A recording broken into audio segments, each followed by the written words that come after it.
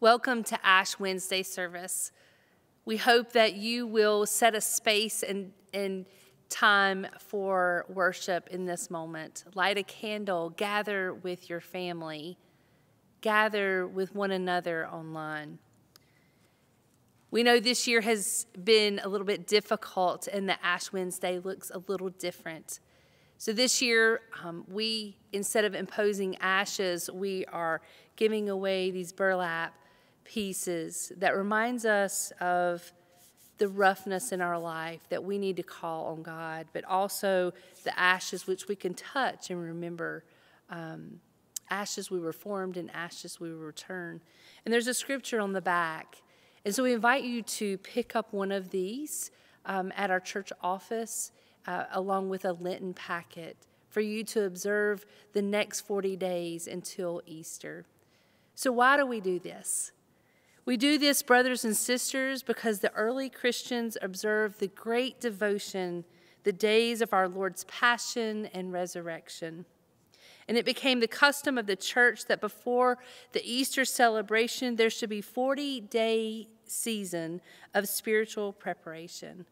And during this preparation, um, converts to the faith were prepared for holy baptism it was also a time when persons who had committed serious sin and had separated themselves from the community of faith to come in penance and be reconciled and forgiven.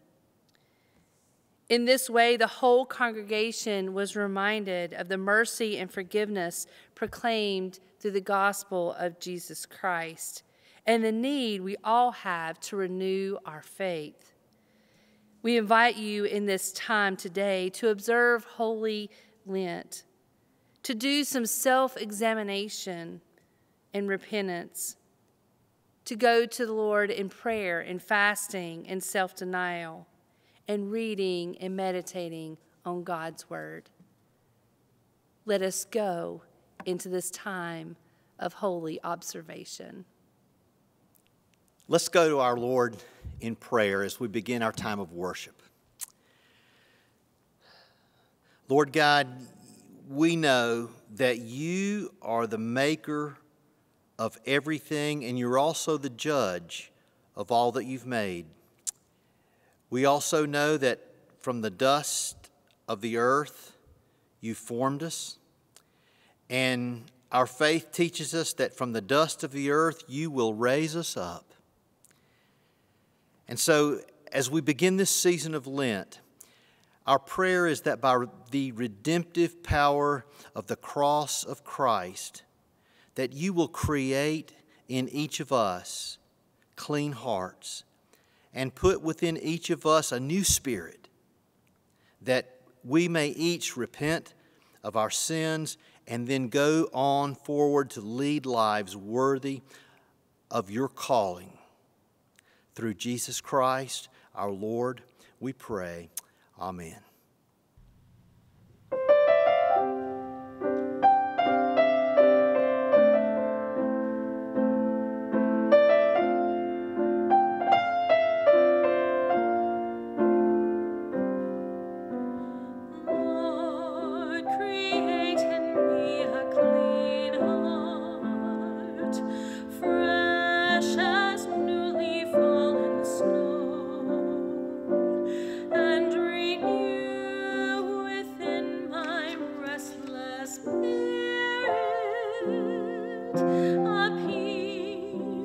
will not let me go.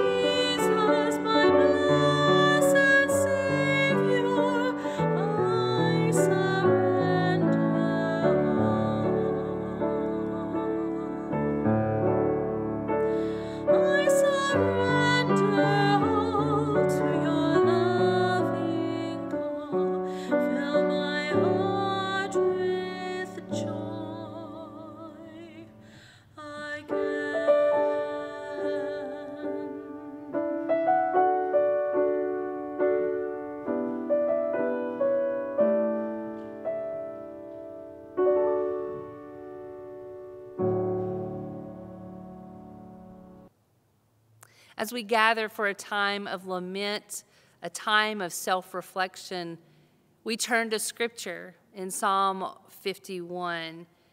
David's lament, his confession, his prayer. And I invite you to turn to your um, scripture, your word, your Bible, to Psalm 51 and join me as we confess in prayer to God, verse 1 through 17.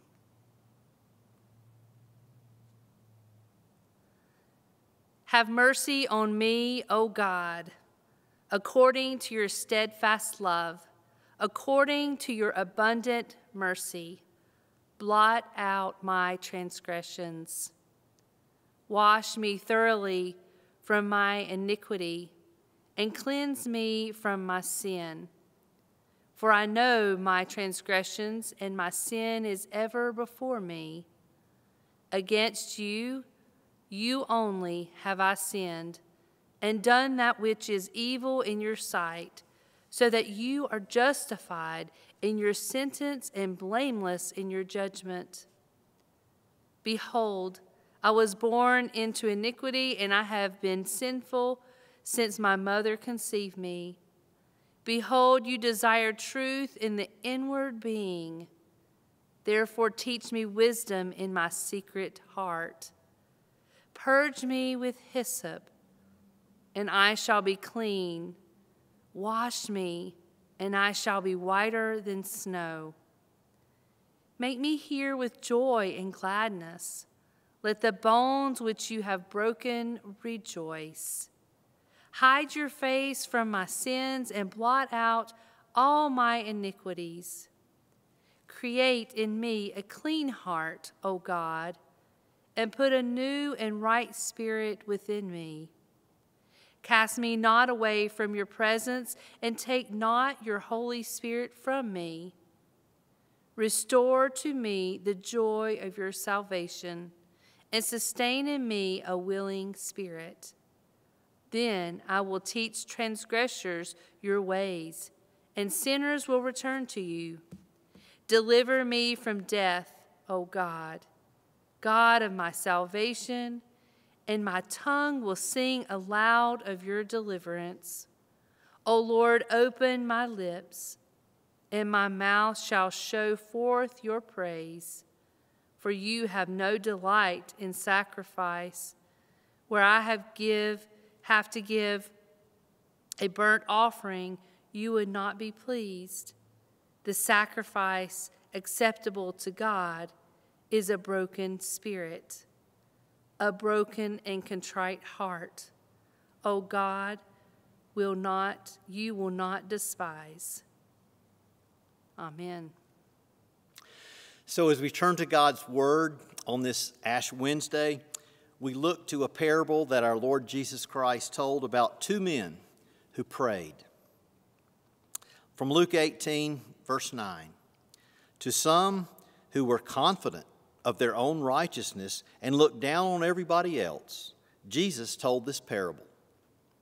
Two men went up to the temple to pray, one a Pharisee and the other a tax collector. The Pharisee stood up and prayed about himself. God, I thank you that I'm not like other men, robbers, evildoers, adulterers, or even like this tax collector. I fast twice a week and give a tenth of all I get. But the tax collector stood at a distance. He would not even look up to heaven, but beat his breast and said, God, have mercy on me, a sinner. I tell you that this man, rather than the other, went home justified before God. For everyone who exalts himself will be humbled, and everyone who humbles himself will be exalted. This is the Word of God. Thanks be to God for His Word. So, of the 38 parables that Jesus told, this is the only parable that takes place in the house of God. Uh, the others are about families and farming, uh, management, and meals, uh, parenting and parties. In this parable, Jesus contrasts two diametrically opposed attitudes that are so important to take note of as we enter this season of Lent. So we meet the first guy, the self righteous one, the ultra prideful guy. Did he really go to the temple that day to pray to God? Uh, we're told that he, quote, began praying to himself. That's the amplified version. He began praying to himself. You know, the fact is that, that he did not go to the temple that day to pray to God.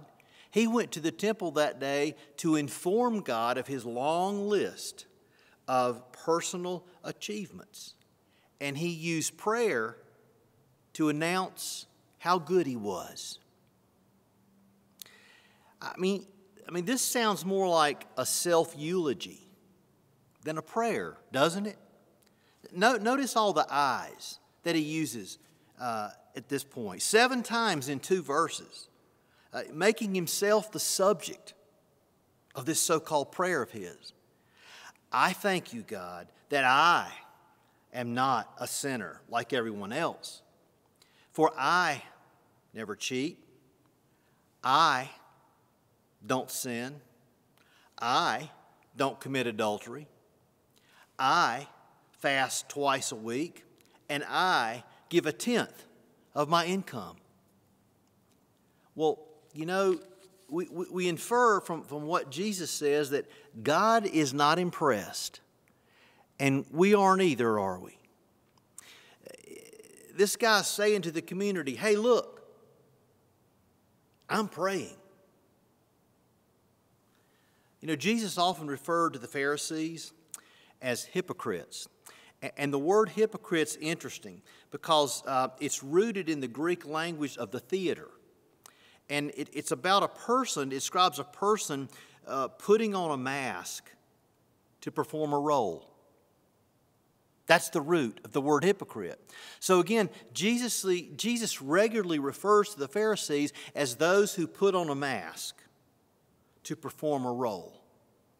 So here's this ultra prideful guy.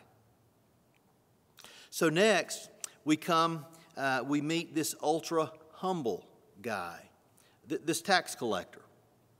And again, we see what a heart Jesus has for humble outsiders. Not necessarily the religious establishment with their pride, but for humble outsiders. You know, prodigal sons and, and, and good Samaritans, prostitutes, and tax collectors. He has a real heart for these people. So, what about this particular tax collector who stands at the back of the temple this day and he beats his chest, beats his chest, and he won't even look up toward heaven? It's all about his attitude the attitude that Jesus would have us to bring to Him as we begin this high and holy season of Lent on this Ash Wednesday. You know that the world renowned biblical commentator William Barclay notes that Jesus actually has this tax collector saying, Oh God, be merciful to me, the sinner. Not merely a sinner, but the sinner. And Jesus gets right to the point of the parable. God's grace cannot be received without humility. Now, as we work our way through Lent, our worship series it, it, focuses on God's grace. But God's grace cannot be received without an attitude of humility. Humility is essential to receiving God's mercy. And that's what we learn in this parable. Of this man, Jesus says, I'll tell you that this man rather than the other, went home justified or made right before God. You know, David, uh, Monica read Psalm 51, David's psalm of confession.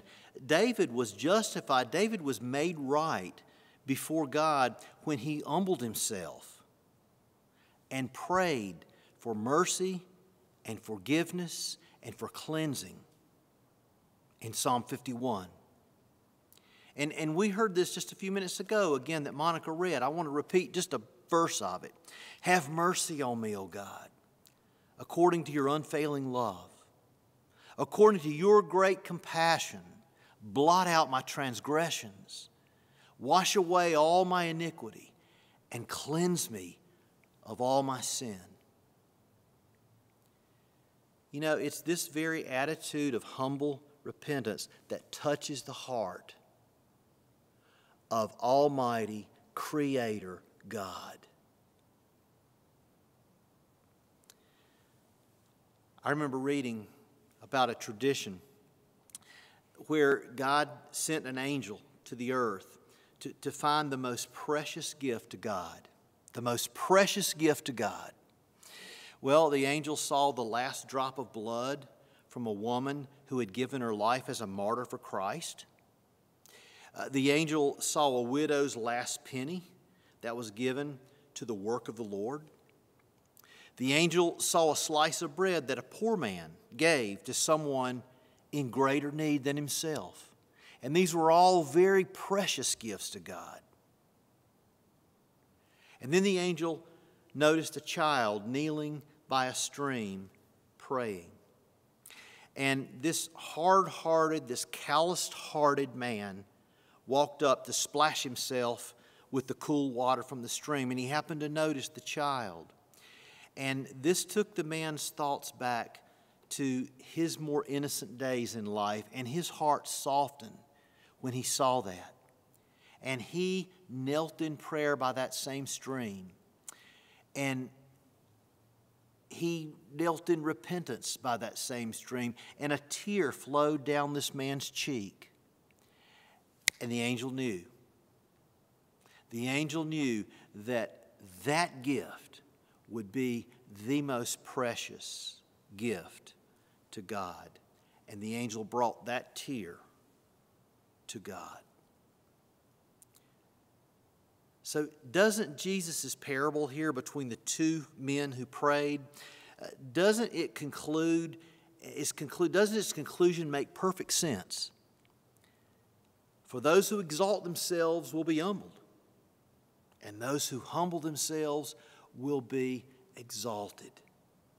It's all about our attitude of humility as we enter this season of Lent and realize our dependence upon God's grace and God's mercy. You know, whether literally or figuratively this year, uh, receiving that cross of ashes on our foreheads, it implies an attitude on our parts of, of humble repentance. As we begin our journey with Jesus to the cross, where He gave His precious life for us. Amen.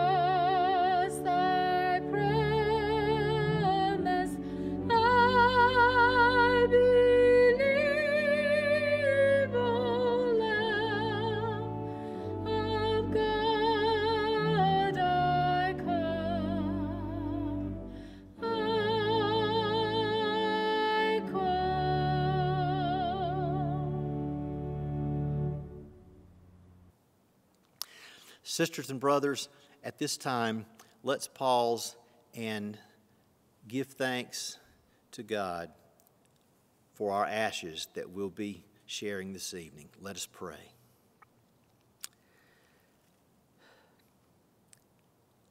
Almighty God, you've created us out of the dust of the earth, and our prayer is that these ashes may be to each of us a sign of our mortality and our penitence, our repentance, so that we might remember that it's only by your gracious gift that we're given everlasting life through Jesus Christ our Lord.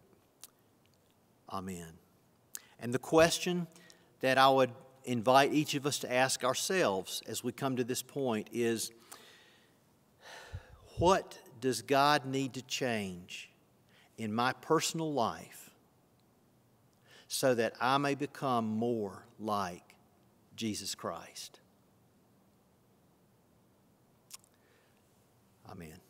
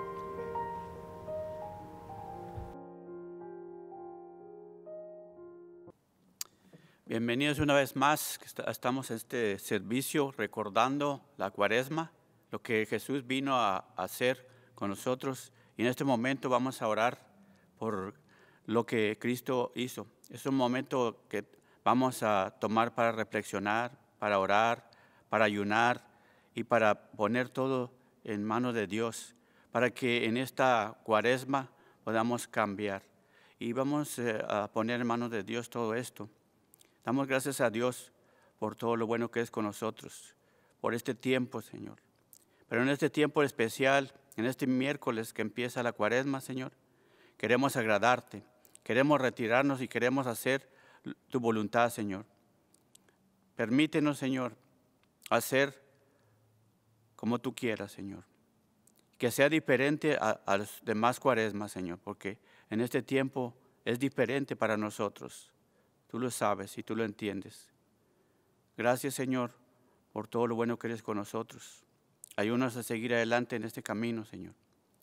Señor, te, te agradecemos que un día viniste a morir en la cruz por nosotros, Señor.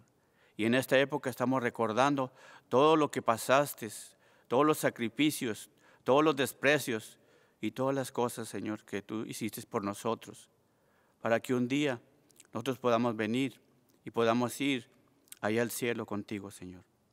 Gracias, Señor, por todo lo bueno que eres con nosotros.